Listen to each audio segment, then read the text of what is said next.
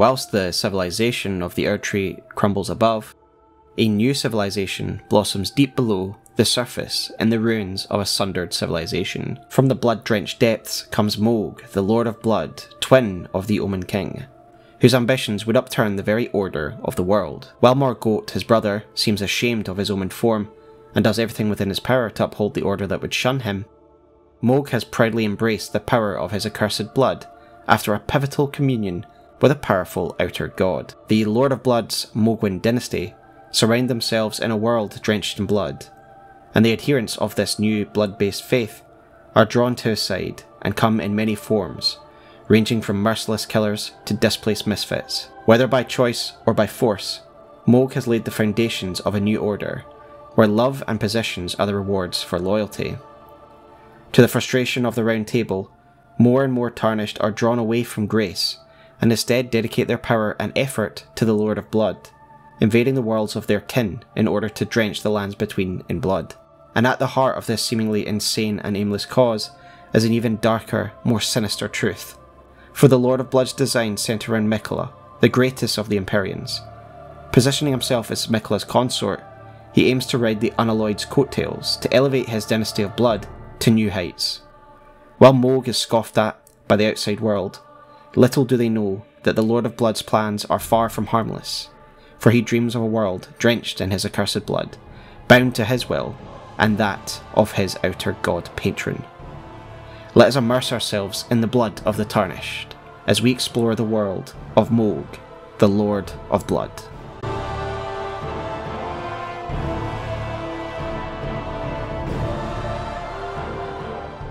We know that Morgott and Mohg were born of the royal lineage, and that being the children born of Marika and Godfrey, a fact that is confirmed by Godric's Great Rune. We know that these twins belong to this lineage due to Morgott's Great Rune, which reads as follows. This Great Rune is the anchor ring that houses the base, and proves two things that the Omen King was born of the Golden lineage, and that he was indeed the Lord of Leyndell. As such, we know that this applies to Mohg as well, for we know from his great rune that he's Morgott's twin. Yet, despite such divine lineage, the birth of these twins was problematic for the royal line, for they were born with the Omen Curse.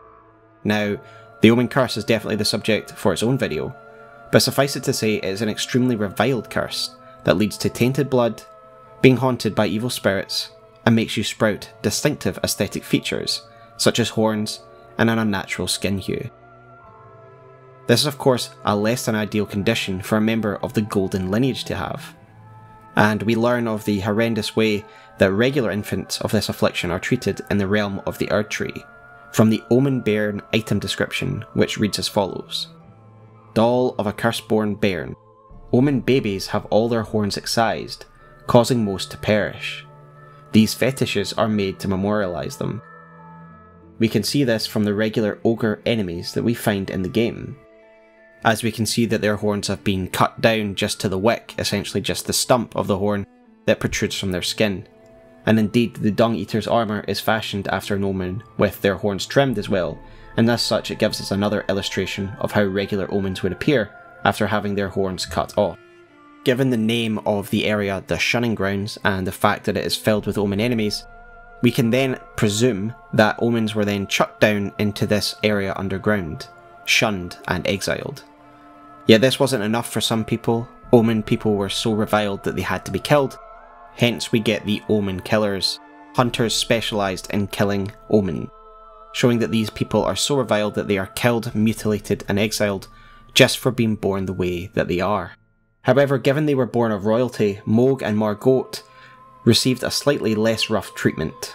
The regal Omen Bairn describes the fate of such royal beings doll of a curse-born bairn from the Erdtree's royal line. Omen babies born of royalty do not have their horns excised, but instead are just kept underground, unbeknownst to anyone, imprisoned for eternity. These memorial fetishes are fashioned in secret. And so, while the main of the golden lineage got to hold court in the glory of Leyndell, Mohg and Morgott will have suffered the fate described by this fetish, they would have been tucked away in the aptly named shunning grounds with the rest of the omen who survived their horns being excised, with the joy of having their horns in full. The two were of course problematic.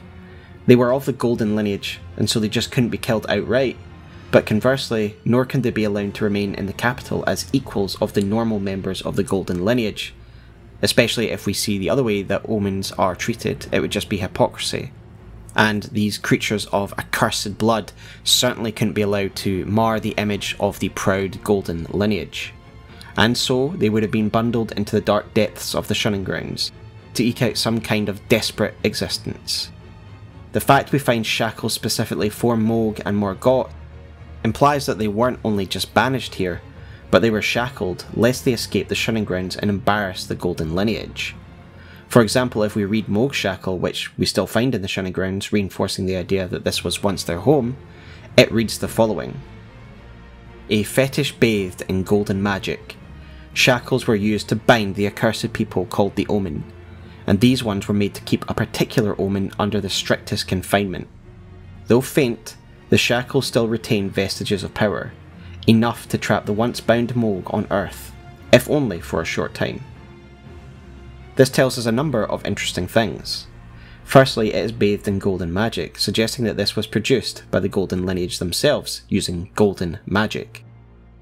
This is completely monstrous if you consider how cruel the royal family were to two of their own, for no other crime than being born the way they were. It also says under the strictest confinements. To me, this reads as though they were even more concerned about Mohg and Morgott from ever getting out than any other Omen Cursed, lest they be discovered and cause any embarrassment to the proud golden lineage.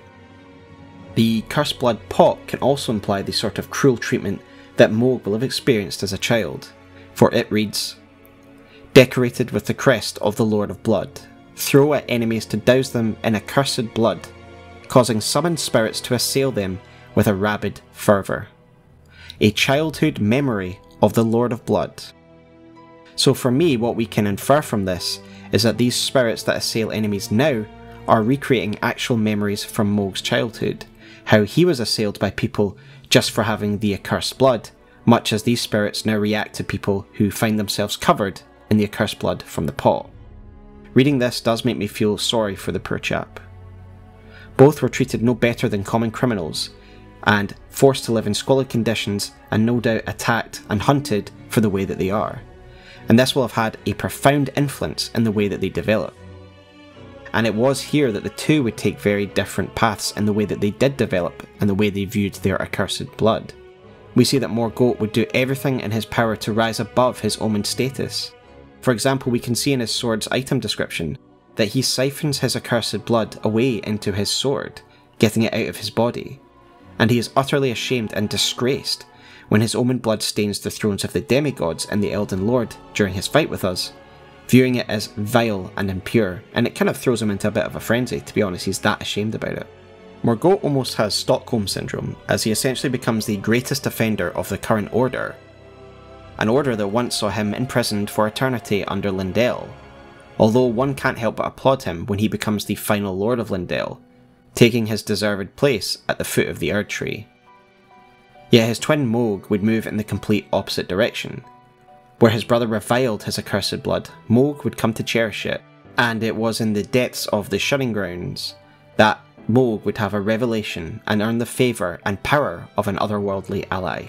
The Blood Boon incantation reads as follows Sacred Incantation of Mohg Lord of Blood. Thrust arm into the body of the formless mother, then scatter blood flame to set the area ablaze. The Mother of Truth craves wounds. When Mohg stood before her deep underground, his accursed blood erupted with fire, and he was besotted with the defilement that he was born into. We can see that Mohg met his new patron, the Formless Mother, quote, deep underground, and to me this most obviously refers to the shunning grounds, which of course deep underground. This is the most pivotal moment in Mohg's life. Whilst no one will ever know Mohg's name really in the outside world beyond those that serve him, everyone will come to know the Lord of Blood, and this is the moment he becomes the Lord of Blood. It is central to the movement that become known as the Mohgwyn dynasty, and indeed, I do believe that this place is therefore still sacred to the dynasty, even after they establish themselves in the mausoleum under Caelid. The reason I believe that this area is still important to the Dynasty of Blood is because of the presence of a certain boss. We find a boss here called Esgar, Priest of Blood, who we know is linked to the dynasty not only because of his obvious name, armaments, and the fact he has the blood tainted dogs with him, but also because he drops the Lord of Blood's Exaltation, a talisman directly linked with Mohg. Esgar's presence here suggests a cult location within the depths of the Shunning Ground, and to me this is unsurprising given that this is the location of the First Communion that led to the birth of the accursed blood that they venerate so dearly, as well as the birthplace of the dynasty itself, ultimately.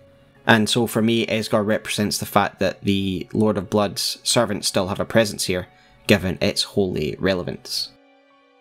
Returning to Bloodboon, we can find there's another interesting aspect of it when we look at the second part, as it reads, His accursed blood erupted with fire, and he was besotted with the defilement that he was born into.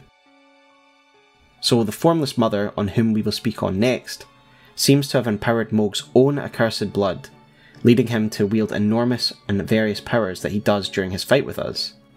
We know that she bestowed power on his blood specifically from the description of Mohgwyn's sacred spear, which reads A sacred spear that will come to symbolise his dynasty.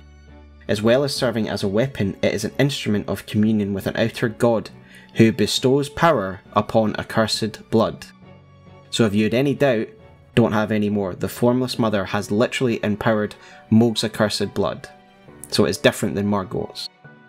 However, more significantly, it infuses Mohg with the opposite opinion of himself than his twin brother has of his accursed blood. The connection between the Formless Mother and Mohg is made through Mohg's accursed blood, blood being the medium that the Formless Mother interacts with in the mortal plane. Therefore, to Mohg, his defilement, his accursed blood, is something to be proud of, for at this moment it was his blood that gave him purpose and clarity for the first time in his life. This is also reinforced by the description of Mohg's great rune, which reads, But Mohg's rune is soaked in accursed blood, from his devout love for the wretched mire that he was born into, far below the earth. He now had power, real power, and unlike the rejection of his kind at the hands of Marika and her kind, the formless mother embraced him, empowered him, loved him, communicated with him, and this is all the direct result of him having omen cursed blood.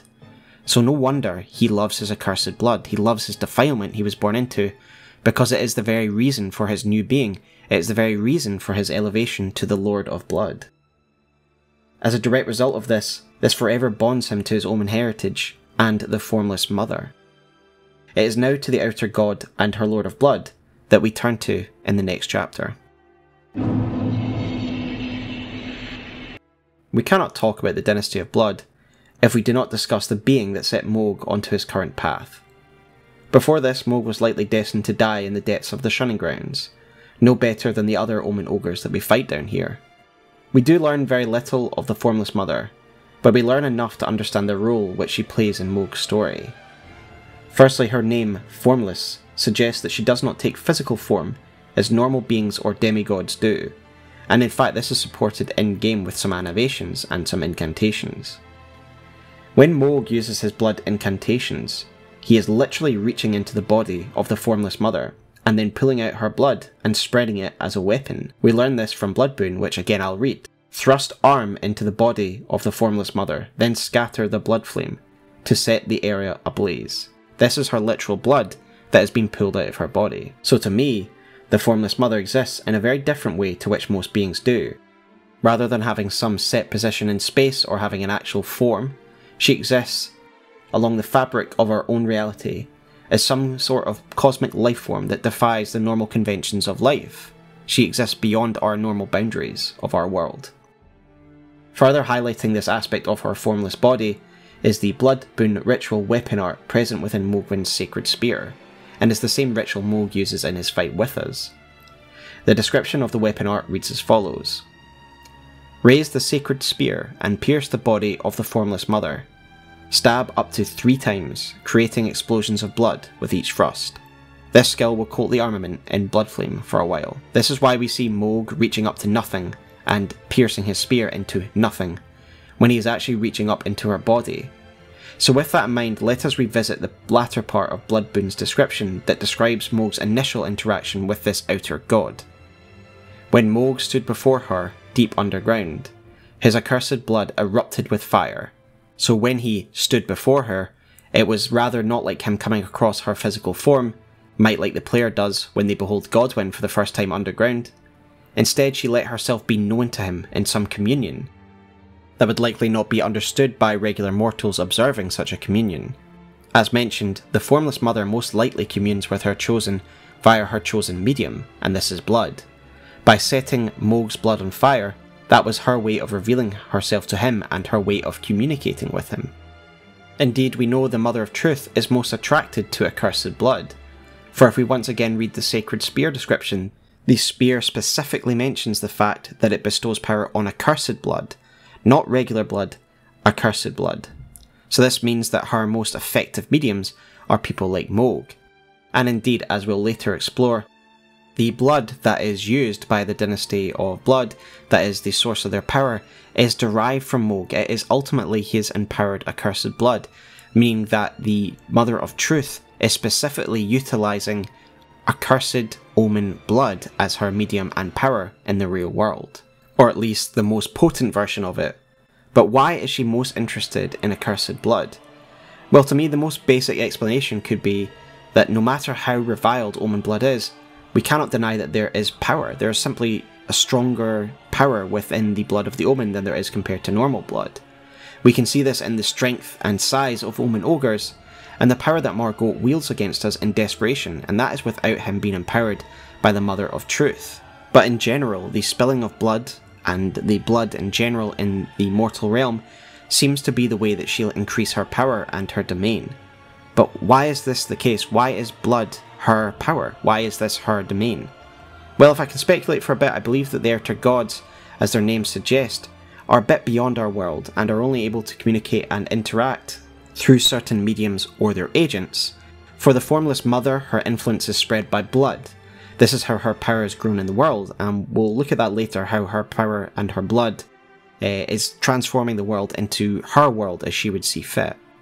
In this regard, she has chosen the perfect Messiah. Through Mohg, she not only has a champion of powerful corrupted blood, but is also in a position to usurp the established order. Mohg is a demigod, he is someone who has the ability to claim a great rune and have great power himself. With her empowering his blood already, she has a formidable ally who can advance her aims, spread bloodshed, spread his accursed blood, and therefore spread her influence in a world that she cannot physically influence herself. However, this arrangement benefits Mohg as well, for he is empowered and emboldened, and instead of just being a prisoner in the depths of the shunning ground, he is now the lead of a powerful sect, as well as gaining actual powers. So let us look upon the Lord of Blood himself and what powers he has gained from his audience with the Formless Mother, the outer god of blood. What is clear is that when the shattering of the Elden Ring took place, is that Mohg, like his brother, claimed a great rune. This will have of course increased his power already, but what is interesting is that his empowered accursed blood, his blood that is infected with the influence of the outer god of blood, actually warps the great rune that he is in possessing of. It warps the power of the Erdtree that he has stolen. For the description of the rune reads as follows A great rune of the shard bearer Mohg. Its blessing grants a blessing of blood. Mohg and Morgott are brothers, and as such, their runes are naturally similar but Mohg's rune is soaked in accursed blood from his devout love for the wretched mire that he was born into, far below the earth. Both Morgott and Mohg have accursed blood. Both have runes that have taken similar shapes. But it is only Mohg's that is warped by his blood, meaning it isn't just Omen blood that's corrupting it, it is in fact the corrupting influence of the outer god of blood, the Mother of Truth. I think this is fascinating because it shows that the shards of the Elden Ring can actually be affected by an outer god if their chosen champion possesses it and has their power coursing through their veins. This is of course backed up by Malenia's Great Rune, which has been corrupted by the outer god of rot in a similar fashion. Mohg's great power is boosted by the fact that his Great Rune is now intrinsically linked to his accursed blood, increasing his power tenfold. Another interesting point from this description is the fact it suggests that Mohg's and Morgott's runes are similar because they are twins. It is as if great runes are not set shapes when they are claimed, but in fact conform to their bearer. We of course most clearly see his power on display during our boss fight with him. He can travel and move around in the form of blood. As when we first arrive, he is sleeping beside Miquella in the form of blood, before he oozes out and reconstitutes himself as a corporeal being. Of course, as the Lord of Blood, he has the right and the ability to commune and touch the Formless Mother directly, reaching into her body, pulling out her blood, and using it as an offensive weapon against their enemies. The blood of the Formless Mother is highly potent and volatile, and I believe it is the same source of the flames that we see flickering all over Mohg's palace. This is the effect of the accursed blood growing in power. It's so concentrated in Mohgwyn's palace that it is literally lighting the palace, much like the accursed blood itself burns when Mohg uses it from the Formless Mother. So already we are beginning to see what a world might look like when it is fully influenced by the outer god known as the Formless Mother. As we've already mentioned, Mohg is also able to gain power through his Blood Boon ritual, a term coined by the Purifying Crystal Tear that we use against him. When he uses this move, we see that he is able to directly connect to the Formless Mother's form. He counts down from 3 to 0, in Latin albeit, and he counts 0 three times, and he draws power from the Formless Mother stabbing into her body. He pierces the body of the formless mother three times, causing blood explosions that damage us but empower Mohg. It is through this communion with his god that Mohg is granted even more formidable powers. He is granted huge wings that give him an aerial advantage over us. This is an impressive display of power that really shows the Lord of Blood is not a joke and is a force to be reckoned with, as he has a real power in the form of the formless mother. This is why I find the mentions that portray him as a fool to be extremely illuminating, as it shows the ignorance that people who are observing him from the outside actually have about the true nature of the Mohgwyn dynasty. Before we move on from Mohg's powers, let us discuss a small elephant in the room the fake Mohg, or the other Mohg that we find in the Forsaken Cathedral. Now, quite obviously, this is either a projection or a copy since we fight Mohg twice. Uh, for when it dies, the, the Mohg, the Omen that you fight in the Forsaken Cathedral, he has a slightly different death than the real Mohg. He breaks apart into gold sparkles. Well, when he dies for real, he just breaks apart into grey ones like all the other bosses do. It's the gold particles that got me thinking about how how is he here? How is he a projection? So there are a few possibilities here. Mohg has projected himself, uh, either to revisit his site of his first communion, which we've already discussed is clearly a sacred space, or he is here guarding the frenzied flame himself, as of course it would endanger his new dynasty as much as it would to the established order of things. However, there is the third option, uh, and the most likely to me, and this is that his twin brother Morgott has conjured him up. See, it is the most likely to me because of the gold colours that sparkle when we destroy Mohg the Omen under here. Gold is associated with those on the side of the Elden Ring, and those such as Morgott who are from the Golden lineage. But to me, the most compelling reason for this argument is the positioning of this Mohg, that beyond the secret uh, entrance uh, underneath the altar, there's another door. Now, if you have gone in here uh, after meeting Morgott, you won't realise this, but if you go there before meeting Morgott, which is what I did the first time I did the game, is there's actually a golden barrier, a golden magical barrier blocking off the frenzied flame. And it has a symbol on it which reads sealed by Morgott the Grace Given. So the use of gold for the sparkles and the fact there's a gold barrier directly behind this powered by Morgott, it shows that Morgott is clearly concerned with containing the sacred flame, as well as the proven history of him being able to project himself and have this kind of power of making fakes. And the location, he's extremely close to this location, meaning it wouldn't be a great effort for him to project another version of his old twin brother underneath. And aside from that, maybe it's even sentimental, having a piece of his strange brother nearby. This is, of course, pretty wild speculation on my part as to why there's a Mohg the Omen here. And to be honest, I might just be covering FromSoftware's um, fact they've just copy and pasted a boss here. But there you go, that is my take on why there's a, a, a copy Mohg there. Any of these three are satisfying to me, but C is the most likely for me. That's it, and, and take it or leave it. Returning to the real Mohg, I, I want to look at the way he's viewed at from the outside. It's clear that Ofnir does know a lot. We see him, you know, fruitlessly looking for Miquella in several ways. He attacks Latenna, and interrogates her in a pretty British fashion, looking for the other half of the Haligtree seal, as well as sending his goons to attack the Albinauric village.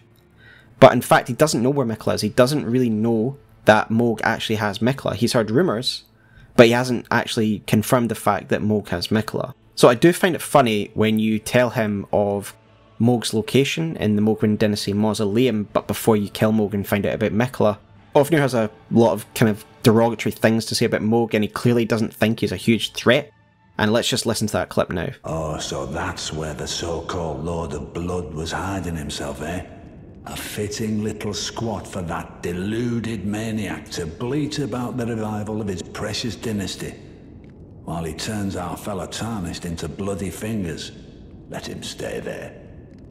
That way, his delusions will remain as they are, distant and unattainable.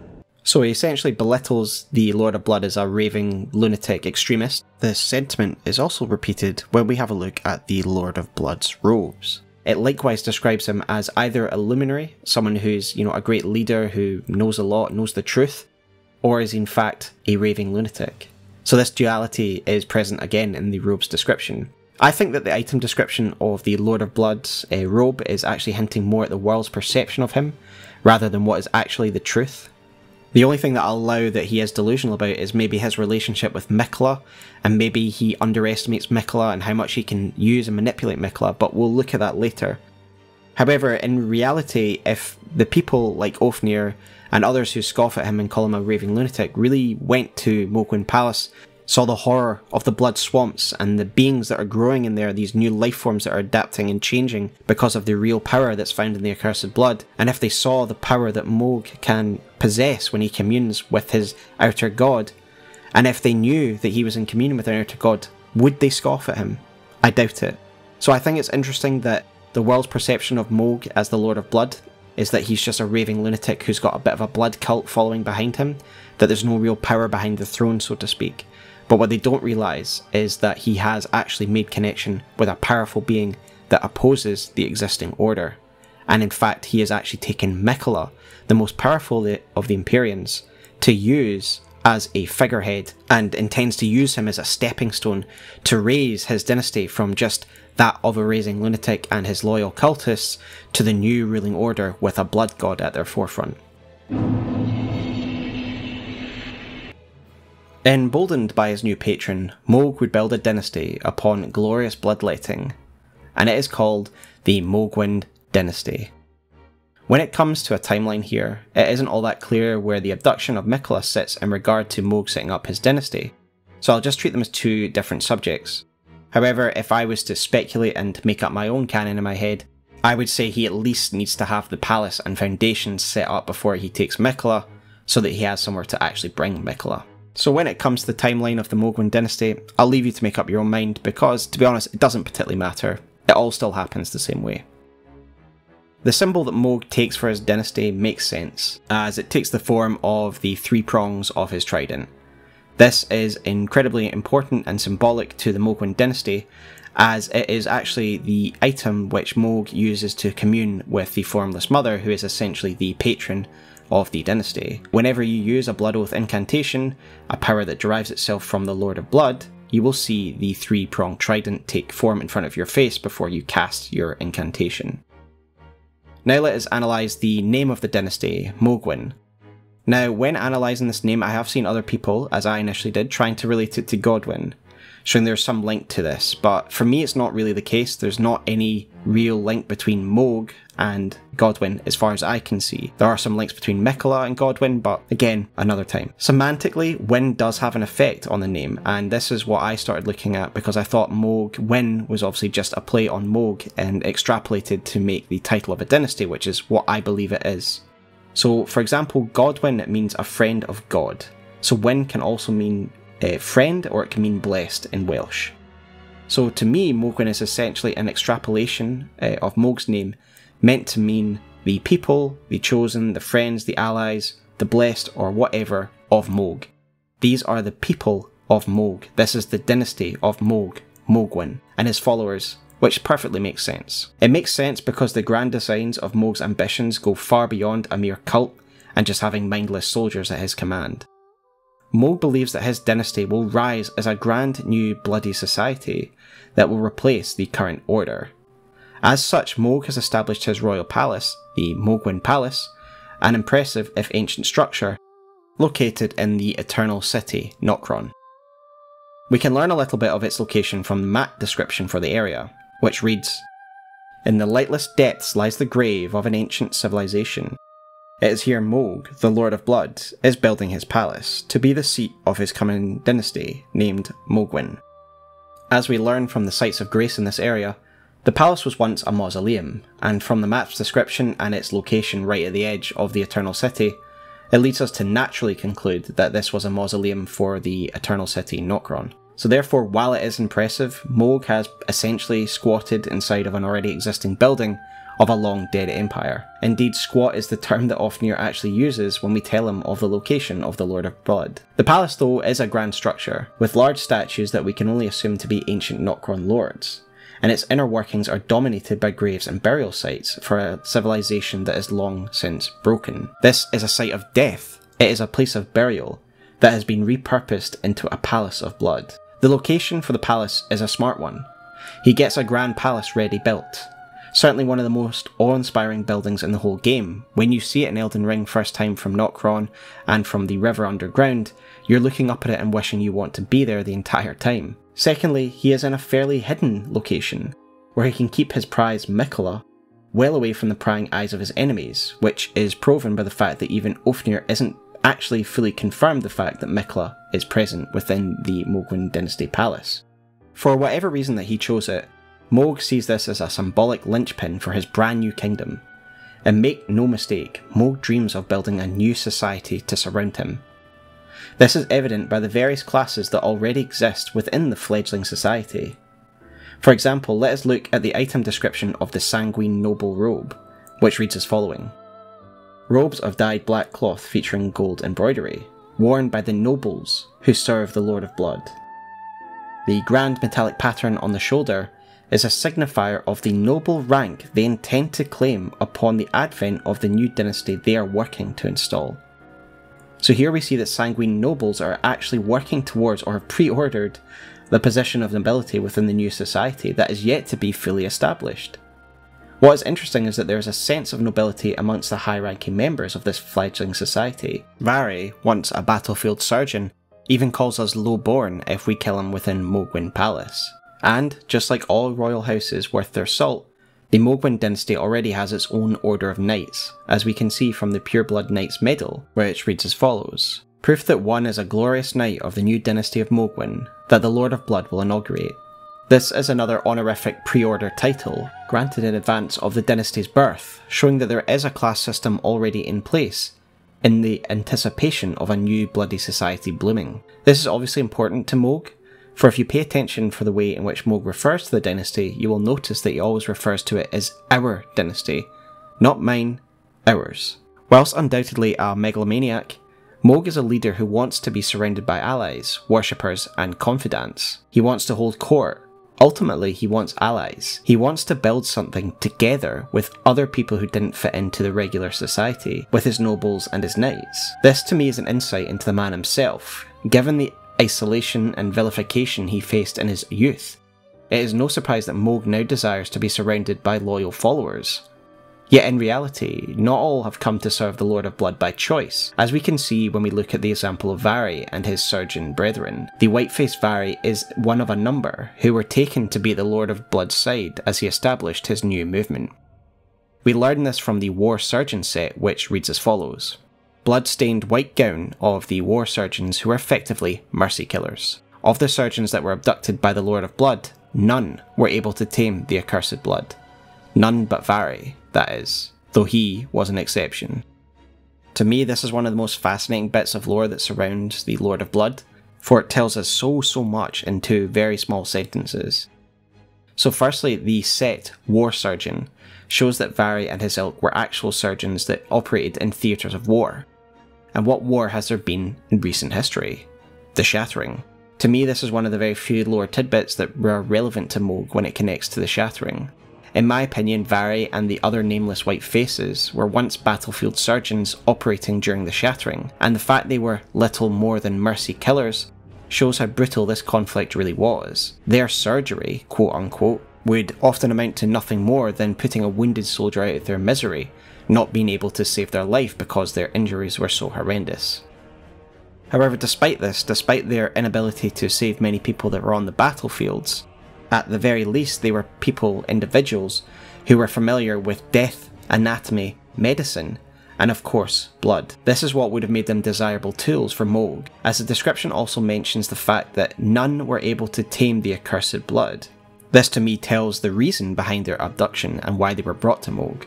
To help him tame his new accursed blood, to find a way to control it and utilise it in his greater dynasty of blood. We will deal with the accursed blood itself in the coming parts. However, let's just say that the accursed blood is the blood of Mohg that has been enhanced, and it is his blood that is referred to as accursed blood in the Blood Boon description. In addition, we do see the influence of Omen blood in the accursed blood, again linking it to the fact that it is Mohg's blood rather than the Formless Mother's blood directly, for we see Omen appearance happening on the Sanguine Nobles, such as their pallid skin and the fact they are growing omen like horns. As again, we'll go into these effects in more detail soon, but just know when we talk about accursed blood and the accursed blood that Varre and his like were working on, it is Mohg's empowered blood. It is clear that Mohg then stole the surgeons to help him work out a way to control it, given their experience with medicine and blood.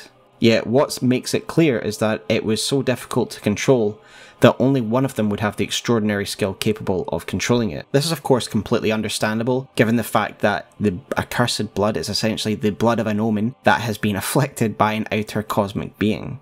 However, while the failure of the majority of these surgeons is understandable, it also helps highlight Varre's brilliance as well as understanding the fundamental and important role he must play in the dynasty, given his prestigious achievements. So let's talk about Varre now and his role within the Mohgwyn dynasty. Varre is the first NPC that we see in game, and it shows the guile and intelligence of the Lord of Blood's greatest agent.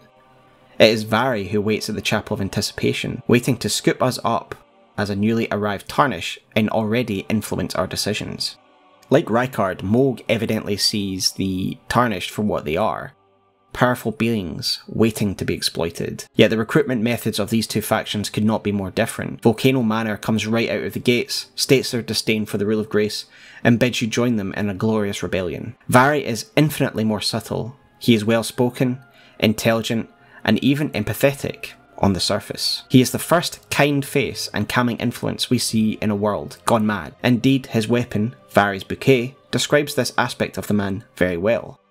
For it says, this weapon reflects the white mask Varre's manner of speech rather well, enticing in its splendour, but full of deadly consequence.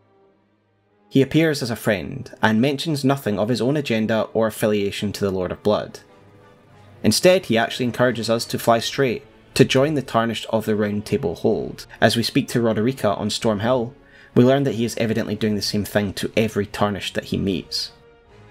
In doing so, he probably believes that he will not only weed out the weak, but also that we will come to the inevitable conclusion that he has that the two fingers are not worthy of our loyalty, they are weak, and the tarnished of the round table that do serve them are blowhards and are has beens.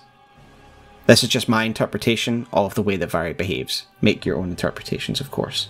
He encourages down the path of blood slowly, before dropping a couple of festering bloody fingers into our hands, encouraging us to spill our first drops of blood for the Lord of Blood, and then, after feeding our doubts and making us misbehave from the way of the two fingers, he fully inducts us into the Lord of Blood's service.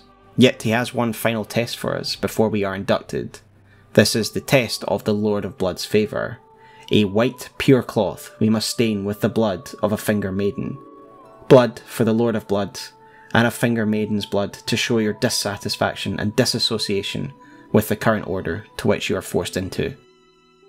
Varre's role here shows how important he is considered to be by Mohg, as he is important enough to induct and select knights for his new order.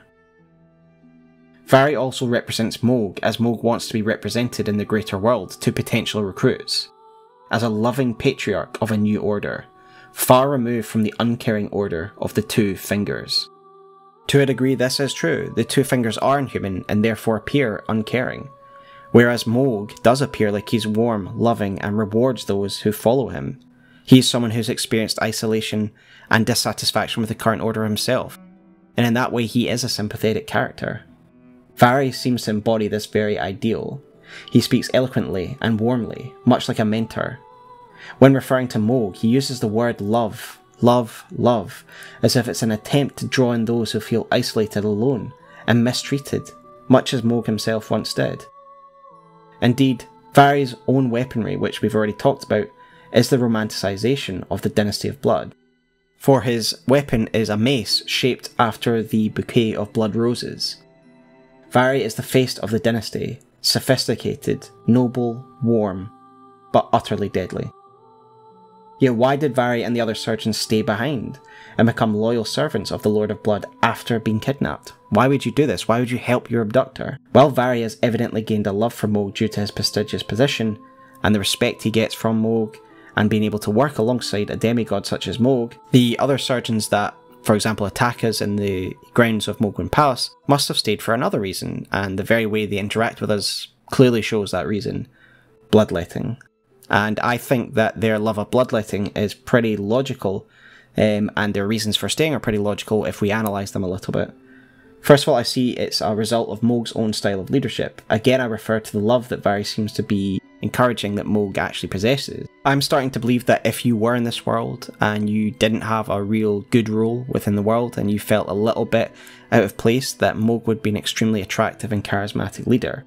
I think he is a bit of a captivating leader in that respect, who instills a sense of love and brotherhood within his order, uh, an order of dissidents who have been rejected by the main society. Secondly, I suggest the other reason, which is a little bit more sinister and, and probably the main reason to be honest, is that on the blood soaked fields of the battlefields of the Shattering, the minds of the war surgeons could warp after seeing so much death and so much blood and develop a taste for blood. Um, they are essentially mercy killers, so they've killed a lot of people at this point, and maybe it went beyond mercy, and they in fact developed a taste for blood. And now they are no better than any of the other bloody fingers, obsessed with the spilling of blood. And therefore, they serve the Lord of Blood in another way that they couldn't do as medical professionals. Either way, I went over the war surgeons in, in depth because Varre played an important role in the dynasty, and that was the taming of the accursed blood, which is the real source and core of the dynasty's power. And so let us explore the accursed blood now. Regardless of how it was done, Mohg's accursed blood has been weaponized and brought under a degree of control by him and his minions, in various ways such as weapons and as a medium for transportation and transmutation. Yet more importantly, the accursed blood is used to bind those who serve the dynasty together. If you complete Varre's questline, then you see the truth of this firsthand. He asks you to pass his finger, and if you watch the animation closely, it looks like he is administering a syringe of something being pierced under your fingernail. And this is in fact reinforced by the bloody finger item description, which describes the fact that something has been injected under your fingernail. After he's done this, he proclaims that we are now bound to Mohg and the rest of his servants, that this operation that he's done to us, that this finger, is what binds us together. If you then examine the bloody finger item that you received during the ceremony, you realise this isn't just a finger, like the one used by the recusants. No, this is in fact your finger, as the item description reads as follows. Glistening blood has been siphoned into the nail of this finger. Its sickly, pale skin feels nothing now, but the nail still itches with the sweetest pain. The fact we still feel the pain of it shows that it is actually ours, and also the illustration does not show a severed finger like the other ones, like the recusant's invasion finger, but in fact shows a finger very much still attached to a hand. It is a powerful marker of brotherhood, bound by a shared blood, the accursed blood of Mohg.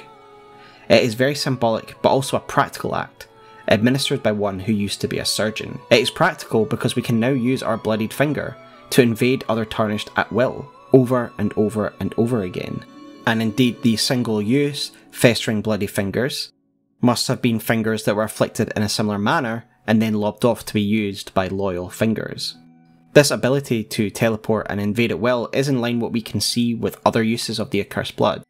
Both Mohg and the nobles, who I argue are closest to Mohg in their physical form and powers, can travel through blood and blood form, and now as a bloody finger, we can travel through the accursed blood as well. Aside from our bloodied finger that is now gone pale like Omen's skin, we can also see other physical effects that show the blood has really had an effect on our body and is coursing through our veins. For after this ritual, our eyes gain a sickly, reddy, smoky hue, showing that the accursed blood is fully infected our body. Varre is right, this really does bind us to Mohg and the other fingers. We now all literally share the same blood. The bloody fingers themselves are therefore the product of Mohg's accursed blood, and no mere cultists, they have real power. Of course, to Mohg, they are his pure blood knights of his new order, but to the outside world, they are the reviled Bloody Fingers, blood crazed fiends. Indeed, Yura, hunter of Bloody Fingers, describes them as tarnished in thrall to Cessblood, that they are no longer in control of their own actions, they are lost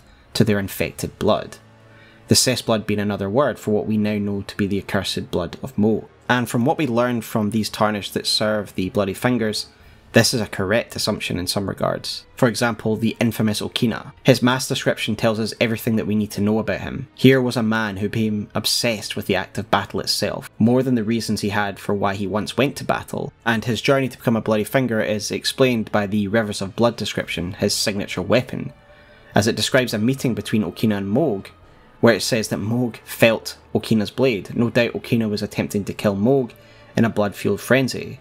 But instead of Mohg killing him or striking him down or fighting back, he saw an opportunity for a useful tool, and he offered an opportunity far too tempting to a psychopath like Okina.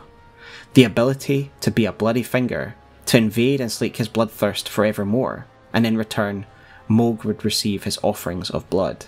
The famous Eleonora, on the other hand, considered by Yura to be the most dangerous of the Bloody Fingers, once had a proud legacy as a noble knight, but now her legacy has been tainted by the Bloody Fingers. No doubt her recent transformation to a bloodthirsty knight has been caused by the Dragon Communion she has so clearly partaken in. One of the first warnings that we receive from Yura is in fact that Dragon Communion can lead to a hunger that cannot be sated. Whatever the reasons for wishing it, the bloody fingers seem to be tarnished who crave battle and death, and in return for spilling blood in Mohg's name, they are granted the ability to invade and seek battle as much as they wish, to sate that hunger which otherwise would go unrequited. The purpose of the Bloody Fingers to Mohg is to spill blood that will sate the thirst of Miquella's cocoon, and this is described by the Bloodlord's exaltation, but we'll go into that more later when we look at Miquella in the next part of the video. However, for me, aside from the Bloody Fingers, it is the Sanguine Noble that best represents the effect that the accursed blood can have on someone, as they essentially seem to be taking after Mohg in lots of ways. And we've mentioned a few of these again, but I'll, I'll go over it again just for the sake of this part of the video. Like Mohg, they can travel through blood, and they seem to be transforming into a sort of pseudo-omen due to the omen infection within the accursed blood. They begin to sport the same type of omen horns that Mohg has, as well as sporting the same pallid skin tone that Mohg has. Uh, on a note on the horns, these aren't actually just a part of the outfit that are meant to be symbolic of Mohg uh, or representative of him. If you wear the Sanguine Noble outfit yourself, you will see you do not have those horns. These horns are genuinely a part of the physiology of these blood nobles. Aside from offensive and utility purposes, we can see that the accursed blood has uh, some interesting transformative and mutative powers, and as a case study of that, we're going to turn to the putrid blood soaked mires of the Mohgwyn Palace. As to be expected as the very foundation of this new empire, it is covered in blood. Even the first holding of the Mohgwyn dynasty is suitably mired in blood. The palace is literally situated in a stinking, festering bog of blood. And now let us read the description of the Swarm of Flies incantation, which gives us a little bit of an insight into this. It reads The new palace of the Lord of Blood lies in a swamp of festering blood, and these flies are said to have spawned from excrement in that land. Indeed, we find the Mohgwyn Palace resting in this stagnant pile of blood, rising above it and casting an ominous but dramatic shadow. The Mohgwyn Palace map can once again give us further context as to this location, and what abominable horrors we can expect to find in this blood drenched land. It reads as follows In the lightless depths lies the grave of an ancient civilization. It is here Mohg, the Lord of Blood, is building his palace to be the seat of his coming dynasty named Mohgwyn, and whatever nightmares that may bring. What nightmares does this map refer to? Well, one needs to only have spent 5 minutes in this horrendous area to understand how nightmarish things can get. Let's first zoom out from the palace though, and have a look at the first instance of the Lord of Blood's corruption that we will most likely find on our journey as a new player, the Rose Church. The signs of the accursed blood is pretty clear here. Firstly, we can see that the whole water in this area is blood soaked, and the influence of blood, and therefore the Formless Mother and the Lord of Blood, allows a sanguine noble to translate here, to move through the blood and rise through a bloody portal. Second, we see these warty blood growths that we will come to see are pretty symbolic of the accursed blood's influence, as we see them here and quite prominently on life forms that have been affected by the accursed blood and in the swamps of Mohgwyn Palace. The blood rose also grows in abundance here, and we can see from their description that these two grow in festering blood, and it is symbolic of Mohg's reign, hence why Varre has incorporated those into his weaponry as a symbolic gesture.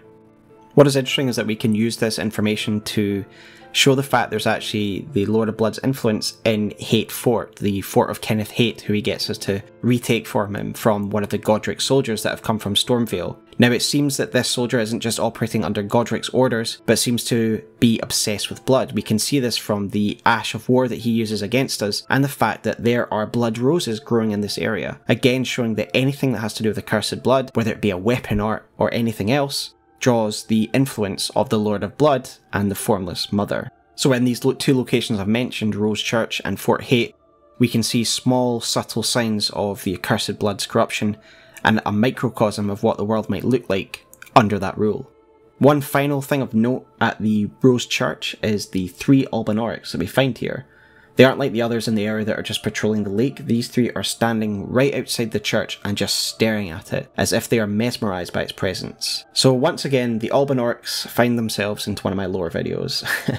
so their presence is significant here at the Rose Church, because a huge amount of Albinaurics have now found themselves enthralled to the Lord of Blood. As we enter the bloody marshlands of the Mohgwyn Palace, we find new versions of Albinaurics, blood red Albinaurics who are almost as one with festering marshes and sport unusual blood abilities, such as growing and shooting hardened blood spikes. Even more interestingly, is that we see near the entrance of the marshes, we find a group of blood Alban standing over regular Alban So what is happening here? So I've gone over it a lot and I'm sure people are aware of this now, but the Alban are a fairly oppressed people uh, and they don't really have their own place. I'm not going to go into more detail because this video is already ginormous and I could go off on a little bit of a tangent about it, but put it this way, the Albinaurics haven't got a place in the world. So it's no surprise that a hated, hunted, displaced people like Albinaurics could find salvation under the wing of the Lord of Blood or at the very least, it makes them susceptible to corruption by the Lord of Blood, by manipulation by the Lord of Blood. The scene that we are presented with at the entrance to the Blood Marshes, where Blood Albinaurics are guarding regular Albinaurics, makes it unclear whether they have come willingly or not, whether they have been captured and brought here, or whether they are simply initiates under guard by the existing Blood Albinaurics. But given the positioning of the Albinaurics at the Rose Church, I would, to me, suggest that they are enticed to come here for whatever reason, but when they come here, they are essentially put under the control of existing blood Alban. Yet how do Albinaurics transform into the bloody variant? Well again, I'll refer to the most quoted item in, across all of my lore videos, the Alban Oryx Blood Clot, where we learn that they are an artificial life form created by man, and they seem to have a malleable clay-like quality to them, which is why they bleed white fluid when we hit them. In my opinion, inductee Albinaurics are then made to soak in the accursed, festering blood of the swamp, absorbing the accursed blood of Mohg into their malleable bodies, turning them into fearsome, devoted, berserk warriors of the dynasty. These are the foot soldiers, these are the pawns of his new force. They're making up the numbers. We can definitely see the influence of Mohg upon them. We can see clearly that the accursed blood has physically afflicted them, transforming their skin. But not only that, they can produce blood abilities from their malleable bodies. They can form blood spikes and fire them at us. And aside from that, most interestingly to me, is they are also being affected by the Omen infection. At the top of their little heads, you can see Omen horns just poking out of the top. Again, the Omen blood is infecting these Albinaurics as well as regular humans. Mohg has now turned a lost, oppressed people into a fearsome group of foot soldiers. Indeed, there are an extraordinary number of Albinaurics in the swamps, and I wonder if Ofnir would laugh if he faced 1500 Albinaurics at once. Aside from the Albinaurics, we see that there is a cursed blood in the swamp that has altered other life forms, and they can provide fearsome war beast and defences for Mohg's dynasty. The already horrendously horrendous monstrous crows have been afflicted by the accursed blood. The warts that we identified earlier at the Rose Church are pretty present across these crows' body, again showing that they are now one with the dynasty, they share the blood of the dynasty, they have been warped by the accursed blood. Also present in the swamp are the bloodhounds. These are ones that we find in great numbers in the swamp and again are covered in the warts of the accursed blood, again showing them to be afflicted by the accursed blood, making them into fearsome war beasts that cause horrendous bleed, as I'm sure you have all experienced at one point or another. We for sure know that these dogs are to be used as warhounds for the dynasty, as Esgar himself uses them uh, when he fights us in his battle as if they are his trained dogs. The swamp itself is even transformed. It is volatile and dangerous, with blood geysers bursting out of the surface, scalding anyone unfortunate to be caught within its radius. Hopefully the crows. We already discussed the Swarm of Flies incantation, but let's look at it again when looking at the nature of the accursed blood. For the description of this incantation suggests that these deadly, bloodthirsty flies have actually spawned from the bloody mire surrounding the palace, specifically being grown in the blood tinged excrement of the area. This seems like an almost perversion of the natural order of things. There is a new cycle of life found within the cess blood afflicted beasts of the area. These cess blood affected beasts produce festering bloody excrement, an item we can find all over the area, and the item description of this blood tainted excrement reads as follows. The bloody excrement of a carnivorous beast, material used for crafting items, found in the land of the new dynasty, mixed inside with half digested flesh or a dense colony of tiny eggs of unknown but assuredly revolting origin. The accursed blood warps even the natural world, creating new nightmarish bloodletting creatures that would normally just be a natural part of the normal life cycle. They exist within their own blood tainted ecosystem. Now one understands the nightmares that the Dynasty of Blood would bring, as described by the Mohgwyn Palace map. Imagine this is a microcosm, a slideshow of what the world would be like under the reign of the Lord of Blood and the Formless Mother, a hideous mutation of the existing world, where blood tainted beasts fight each other, eat each other, and even horrible flies are born from their excrement that thirst for the blood of others. However, to reach that goal, that absolute paradise that we're all dreaming of, then Mohg's central piece, central pawn, must really come into play, for it is Miquella, the unalloyed, that is central to Mohg's design, and it is he that we will ride upon to our new era with the Blood Lord. So now let us turn to Miquella, the potential Blood God. The secret at the heart of the Blood Dynasty is one that has taxed Ofnir for so long. The truth is that Miquella, the unalloyed, is now a permanent guest of the Lord of Blood. And indeed, in the opening cinematic to the game, we do see Mohg carrying the infant Miquella under his arm. We get hints that it is Mohg who has taken Miquella throughout various dialogues and item descriptions, even before we come face to face with the truth ourselves. For example, after you defeat Malenia, after 13,000 tries, and find the Haligtree as a husk, and report back to Ofnir, he says the following. I heard speculation Miquella embedded himself in the Haligtree. But, before he could finish, someone cut the tree open and absconded with his infant form. Indeed, it seems those words held weight. So even here, Ofnir is hinting the fact that someone took him, and we later find out that someone to be Mohg, for reasons that we will discuss. Regardless, Mohg snatched Miquella in his infant form, as per the words of Ofnir, and this is the childlike form we see in the opening cinematic cradled in Mohg's arm. It is clear that Miquella then becomes the central piece to Mohg's design, and he is intensely, intensely focused on keeping Miquella to himself and protected, for he is the most important part of the dynasty. This is made evident by the description of the Pure Blood Knight's medal, which reads, Used to be granted audience with Mohg, only it is not time, for Mohg yet slumbers beside the divinity. Be patient, the new dynasty is nigh. The term divinity shows how Mohg views Miquella, a potential god. Not only that, but it seems to be directly linked to the coming of the dynasty, which Mohg considers to still be going through the process of birthing.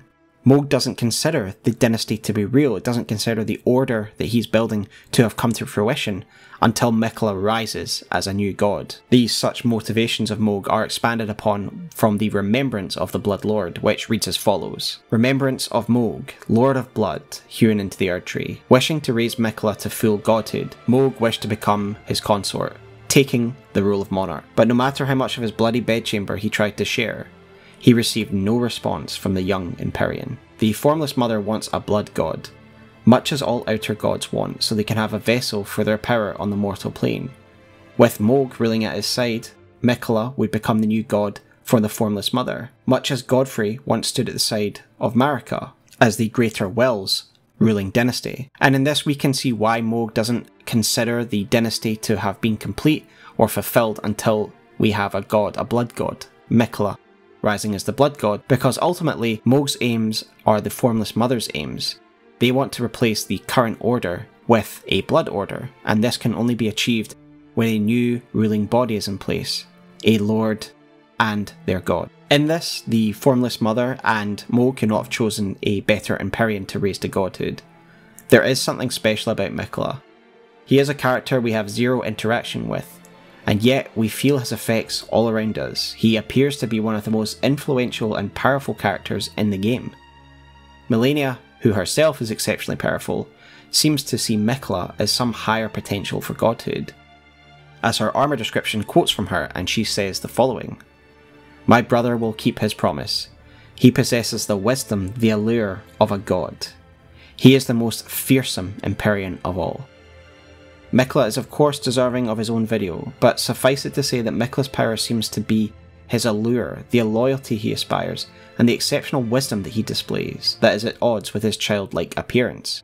Through his unalloyed gold, he seems to have the remarkable and unmatched ability to actually to actually resist the influence of the outer gods. This is something that we learn from the description of Miquella's needle, which tells us that it was crafted to ward away the meddling of outer gods. And we can actually see that this is true if we use it on ourselves and remove the influence of the frenzied flame, therefore removing the meddling of the outer god of the frenzied flame. How many more of the demigods or Empyreans look beyond their own selfish desires to develop such impressive tools to help others? None are like Miquella, who many see as the defender of the meek and the dispossessed, and aside from anything else, he can actually challenge the outer gods. So it is no shock that this is the god that Mohg and the Formless Mother want to use as their figurehead for their new blood dynasty. As the god of the Mohgwyn dynasty, he would bring the accursed blood to new exceptionally powerful levels, and Mohg would be able to rule as the monarch, almost unopposed in the current world. Regardless, it is plain to see that Mohg is trying to grow and warp Miquella into a full god, yet not naturally as Miquella probably would have intended. We know from Ofnir's dialogue that Miquella had embedded himself in the Haligtree for whatever reason, but that Mohg ripped him out before he could finish what he was doing.